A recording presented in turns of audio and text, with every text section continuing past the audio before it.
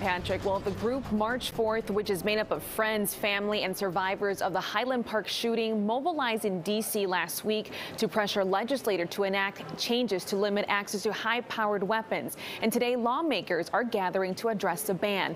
There are two simultaneous Judiciary Committee meetings taking place. One is in the House to do the markup of, of H.R. 1808, which is the proposed legislation that would ban the sale, import, manufacture, or transfer of certain semi automatic weapons. And the other hearing is in the Senate, specifically around the Highland Park mass shooting. Aubrey McCarthy, member of the March 4th group, says they hope the new assault weapon ban bill is able to get approved today and sent to the House floor.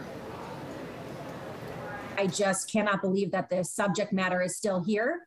And we are very motivated for this to end once and for all so that assault weapons are banned at the federal level.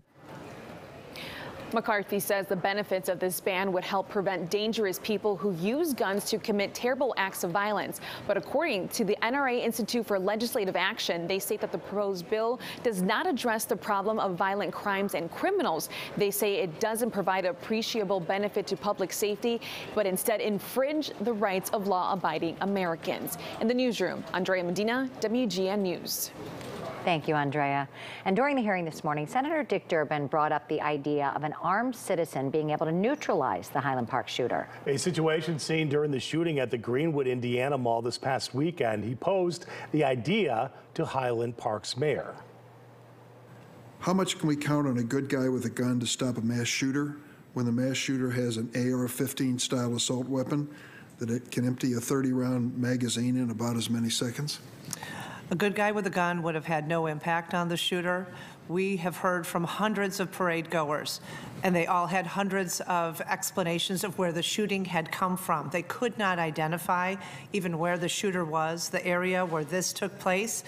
There were bullets ricocheting off of walls. There was a courtyard, and we had good guys with guns on site who were trained, who got there within seconds, and it was just too hard to see where he was. We also know that these weapons and these bullets can pierce Kevlar vests.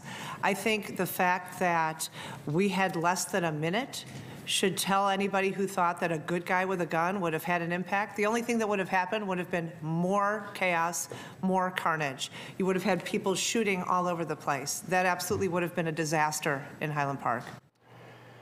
So as you just heard Mayor Rotering saying that it was so chaotic on the 4th of July that her husband, who was in the middle of the scene at the time of the shooting, thought that the gunman was nearby on the street instead of a high on a building, as law enforcement, uh, law enforcement reports have confirmed.